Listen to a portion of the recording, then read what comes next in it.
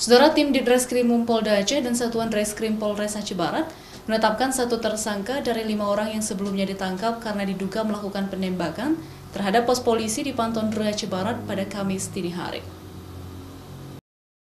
Insiden penembakan pos polisi di Panton Dre kini mulai ditemukan titik terang. Dari lima terduga yang sebelumnya diamankan oleh tim Ditreskrimum Polda Aceh dan Satreskrim Polres Aceh Barat, satu di antaranya telah ditetapkan sebagai tersangka. Satu orang yang telah ditetapkan sebagai tersangka penyerangan pos polisi karena motif dendam, yaitu berinisial DP, dengan barang bukti 3 butir peluru aktif dan satu selongsong peluru kaliber 5,56.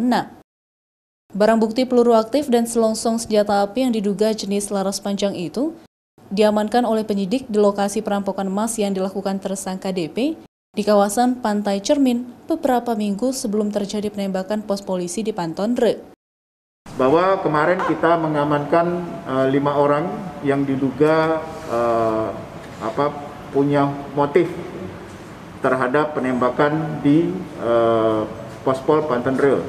Nah dari kelima orang itu kita lakukan pengecekan alibi, kemudian motifnya, kemudian kita lakukan penggeledahan dan pemerik, pemeriksaan secara maraton.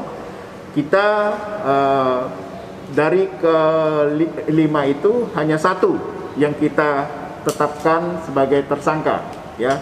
Sementara itu, empat terduga lainnya yang sempat diamankan dan dilakukan pemeriksaan secara maraton beberapa hari tidak terbukti terlibat dalam insiden penembakan sudah dibebaskan.